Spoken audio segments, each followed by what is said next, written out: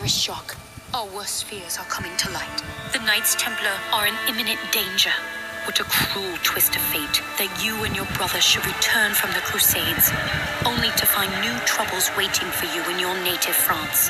The whispers of creatures stalking the hills grow louder. Strange plagues ravish the countryside, consuming entire villages.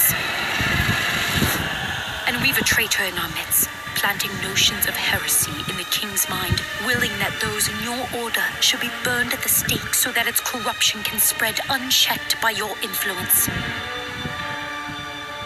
I pray that this warning reaches you in time, but I fear it may already be too late.